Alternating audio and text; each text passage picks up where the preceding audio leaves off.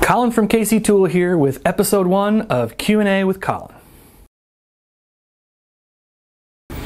If you've watched some of our videos in the past, you know on some of them at the end I say we're always looking for things to put on the show or questions. And so in this, our first episode of Q&A, we're going to actually answer some of those questions. So the first question is, I would like to see a comparison between the Wera Rapidaptor Universal Bit Holder and the Wiha ProTurn Quick Release Bit Holder. I have those two bit holders right here in front of me in the long run, they're really, really similar.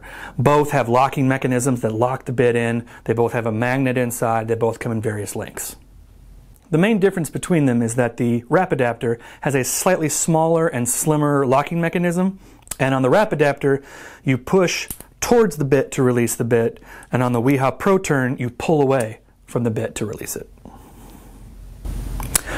Our next question is, I'd like to see a video covering impact rated bit holders.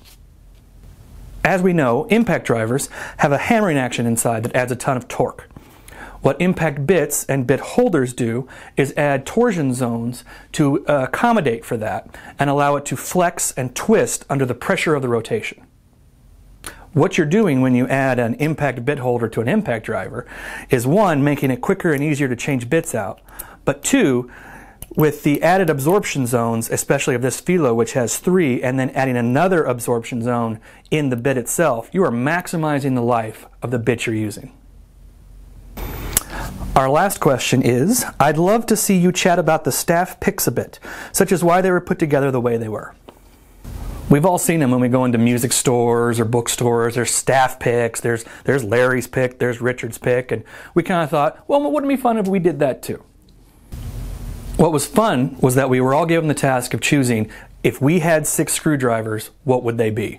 And when we came back to the table with all of our ideas, we thought we'd have a lot of overlap, and we didn't. We had people who had all insulated screwdrivers. We had people who had all Wera, all Wiha. We all had different opinions of what we wanted in that set.